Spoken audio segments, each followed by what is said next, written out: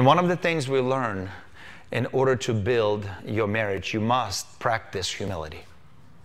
Humility is a superpower. C.S. Lewis said this it's not thinking less of yourself, it's thinking of yourself less. Most of the people are self focused. We like ourselves, we want everything for ourselves. But we're not the only people who live on this planet, and we're not the only people who live in our house, in our marriage. It takes humility to build a good marriage. Because every marriage has seasons of enchantment, and every marriage has seasons of disenchantment. Every mar- marriage has a honeymoon season, and then every marriage has a hell on earth, uh, a, a valley of the shadow and death. every marriage has that. And I know some of you are married, that's why you're laughing. That's good. Thank you for your support. And if you don't practice humility in your marriage, it's just a matter of time before the marriage will fall apart.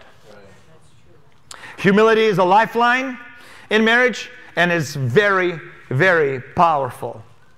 You know, it takes humility to bite your tongue when you want to lash out. And boy, I am quick to speak. Bible says be slow to speak, but when we argue, I can't help myself. I'm just so quick to speak. I can, you know, they say men talk less than women. Not in arguments. Not in my family, anyway.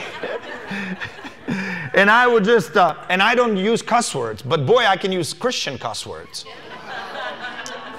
Biblical, even cuss words. You know, you can make the Bible cuss.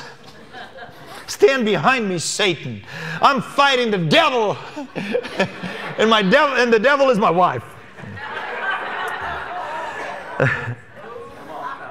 I'm just saying that in general. I'm not talking about our marriage. No, no, no, no. it takes humility to lose an argument. Uh huh. Did you know that in marriage, sometimes you have to back up in order to win a war? You have to lose an argument?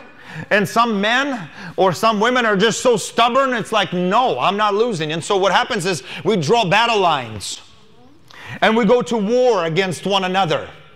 And the thing about war, you can win a war, but there's always casualties in war.